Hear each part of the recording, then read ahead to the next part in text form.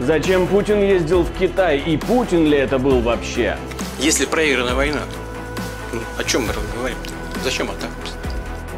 Какая страна пообещала России помощь с оружием под эгидой Китая? А это и Тегеран, и Северная Корея, и та же Белоруссия, которая сателлитом прямым является Китая. Почему Пекин решил сделать камин с Россией? Принятие Путина в Китай является неудачным проявлением поддержки России, которая продолжает вести незаконную жестокую войну против Украины.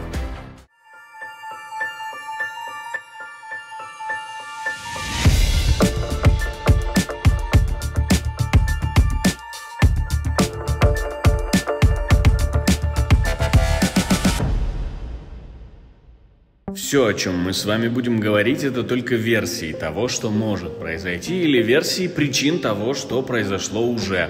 Перед тем, как начать говорить свои версии, напомню, что очень жду ваших в комментарии. Давайте говорить друг другу все теории, все свои мысли и будем искать им подтверждение. Ну или оправдание. Поехали. Путин приезжает в Китай по основной легенде не на официальную встречу, не на переговоры, а на форум «Поезд. Путь» повыступать. Ну да, мало ж площадок. Ради еще одной Путин во второй раз за год покидает Россию. Как минимум Тайвань, Вьетнам и Венгрия, точнее их представители, встретились с Путиным, ну или его двойником, в пекинской резиденции Путина. Да, у него там есть своя государственная дача, в которой поднимают российский флаг, когда приезжает кто-то похожий на Путина. По одной из версий, Пекин попросил прислать конкретного двойника, с которым у Си Цзиньпиня якобы наладилась коммуникация.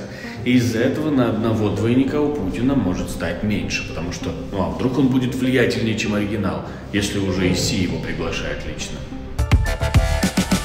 На самом деле мало нового сказал Путин в Китае, хоть и провел целую пресс-конференцию. Слушаю вас. Какие вопросы? Кажется, чтобы лишний раз закрепить сказанное раньше он все это делал, но пригласил Байдена на блины. Сказал, что готов к переговорам, точно зная, что украинская сторона с ним разговаривать до деоккупации не собирается. В целом, мало нового. Если война проиграна России, зачем поставлять атакамс? Пусть заберут назад атакамс, все другое вооружение, садится за блины, приезжает к нам на, э, на чаепитие. Если проиграна война, ну, о чем мы говорим-то? Зачем атакамс? Выглядит так, будто бы Китай показывает Россию другим азиатским и не только азиатским странам, как бы намекая, что с ними можно работать. Зря. Сам Китай в это время подписывает с Россией контракт, долгосрочный контракт на поставку зерновых на сумму 2,5 триллиона рублей – это все кроме поставок около военных, кроме дронов и комплектующих, которые якобы не поставляются. К тому же кто-то помог наладить поставки оружия из Северной Кореи. Некоторые эксперты даже считают, что такие поставки могут транзитом из Китая как бы легализироваться Пхеньяном, ну а потом под видом корейской продукции идти в РФ. С другой стороны, представители тех стран, с которыми разговаривал Путин, вряд ли могут вступить в вооруженные отношения с Россией и как-то помочь Федерации в этом.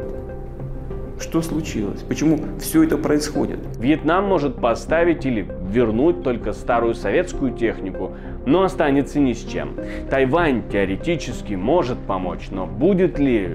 Ведь любая подобная коммуникация грозит серьезными санкциями. Все через корейский хаб вообще поддержание потенциала России через своих сателлитов, ну имеется в виду Китая сателлитов, а это и Тегеран, и Северная Корея, и та же Белоруссия, которая сателлитом прямым является Китая, он уже более-менее отлажен. А, вопрос э, стоял, я думаю, на этой встрече. Вообще это праздничная встреча, это триумф для э, Си Цзиньпиня был для, для того, чтобы продемонстрировать э, итог десятилетней работы над вот этой программой «Шелковый путь», «Один пояс, один путь». И думаю, что серьезных вещей не обсуждали, вернее, детальных, серьезные вещи обсуждали, деталей не обсуждали, вот таких там, сколько вооружения, кому, как, через кого. Обсуждали более глобальные вещи, потому что Си, Си Цзиньпинь находится в подготов, подготовительном э, периоде для встречи с Байденом. И поэтому разговор с Путиным по поводу оружия, скорее всего, деталей нет, но я думаю, что ему пообещали, что не будет уменьшена помощь. То есть прямых поставок не будет, будут поставки продолжены через сателлитов и, и, и помощь не уменьшится. А что если Китай использует РФ и лично Путина как цепного сумасшедшего пса? Надули. Просто нагло обманули.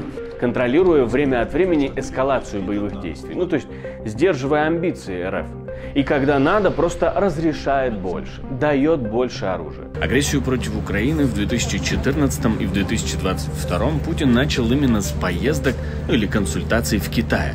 Вдруг и в этот раз что-то задумал что этот диалог начался, если я не ошибаюсь, даже э, на Бали. Э, по-моему, это осень 22 года была. Тогда сказали и э, представитель Индии, и представитель Китая, что не время воевать. Надо как-то... И вот этот диалог, он продолжается. Если не время воевать было тогда, то сейчас, когда Россия не показывает результатов и приезжает на праздник, естественно, ему об этом скажут. Дорогой друг, ты уже, мы тебе год назад говорили, чтобы ты прекращал войну, потому что мы торговать не можем, а ты продолжаешь войну без э, видимых результатов. Поэтому, скорее всего, но на переговорах Китай, естественно, будет использовать э, российско-украинскую войну для того, чтобы не усилилась НАТО, не продвигалась, потому что Россия это уже зона интересов Китая. Зачем Си Цзиньпин выводит Путина в свет? Видимо, чтобы не дать России упасть окончательно.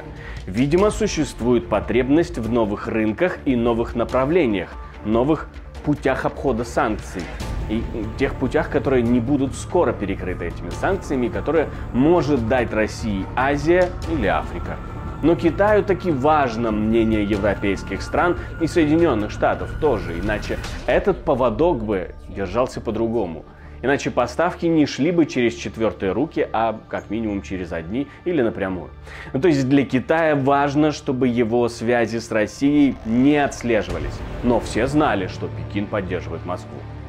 Ведь время от времени США критикует Китай или лишний раз намекает быть аккуратнее, в смысле не заниматься поставками оружия в Россию. Так случилось и в этот раз. Мы озабочены тем, что КНР продолжает поддерживать отношения с Россией. Принятие Путина в Китае является неудачным проявлением поддержки России, которая продолжает вести незаконную жестокую войну против Украины. Не выглядит ли так, что Китай решил не скрываться, раскрыться, сделать камин Что-то типа «да гори оно все огнем». Напишите свое мнение, оно очень важно и интересно для нас и для меня лично это укрепление позиций своего лагеря. То есть мы увидели оформление двух лагерей уже четко, демократического лагеря и лагеря персоналистских режимов, противостояние этих лагерей и соревнования за страны глобального юга. И вот как раз вот эта площадка э, третьего саммита Шелкового пути использовалась для того, чтобы продемонстрировать, что они стоят одним фронтом с Путиным и борются против гегемонии Соединенных Штатов Америки. Вот для этого Путину дали трибуну. Вот для этого укрепили его э, и легитимизировали его на внешней арене фактически, дав трибуну на, на этом саммите, продемонстрировав, что они вместе держатся за руки в самое сложное время. То есть это э, шла, скажем так, прямая вербовка стран глобального юга. Присоединяйтесь к нам, к нашему лагерю, мы сильны, мы своих не бросаем. Вот, и мы будем двигаться э, реализации цели, чтобы создать, как они говорят, многополярный мир. Вероятно, также идет утилизация боеприпасов со стороны и Китая в том числе. Масштабное обновление армии, о котором не так давно говорил китайский лидер, невозможно без списания старого вооружения. А отдать России и списать в бою, так это еще и как помощь выглядеть будет. Си Цзиньпин тогда сказал, что китайская армия должна быть готова к войне и не секрет, что страна вся к этой войне как раз и готовится. Так почему не вооружить союзников или сторонников? Да и взамен еще и получить какое-никакое, но влияние. Может, какие сферы промышленности, скидки на газ или вот зерно, ну и еще что-то вкусненькое. Да, по уничтоженной технике будет видно, откуда она приехала. Но не для того ли сейчас российские заводы переводятся на полные мощности? Не для того ли Шойгу попросил министров разрешить мобилизовать промышленность, даже резервы? Уважаемые коллеги, в условиях специальной военной операции особенно важно быстро восполнять запасы средств поражения. Решение данной задачи напрямую зависит от способности предприятий нарастить выпуск ствольных артиллерийских систем, реактивных систем залпового огня, а также минимизировать сроки их поставки войска. Федеральные органы исполнительной власти приняли меры по увеличению их производства. Правительство Российской Федерации предоставило оборону промышленности право использовать все резервы, в том числе мобилизационной мощности. Министерство обороны упростило процедуру заключения контрактов, сократило объем испытаний, снизило требования к выбору комплектующих изделий, при условии сохранения качества финальной продукции. Сегодня обсудим, э, как организована работа по развитию и увеличению производства ствольной артиллерии, ракетных систем залпового огня и высокоточных боеприпасов с учетом дополнительной потребности вооруженных сил. Высока вероятность того, что эта поездка просто послужила будоражащим фактором, чтобы мы с вами начали строить версии и думать об истинном смысле, чтобы мы сомневались во всем и строили зависимости. Но все это покажет время. Не забывайте, что все, о чем мы тут говорим с вами, это всего лишь версии и только версии происходящего. Какие-то сбудутся, а какие-то нет. Вы смотрите Нехта, меня зовут Алексей Бурлаков. Берегите себя.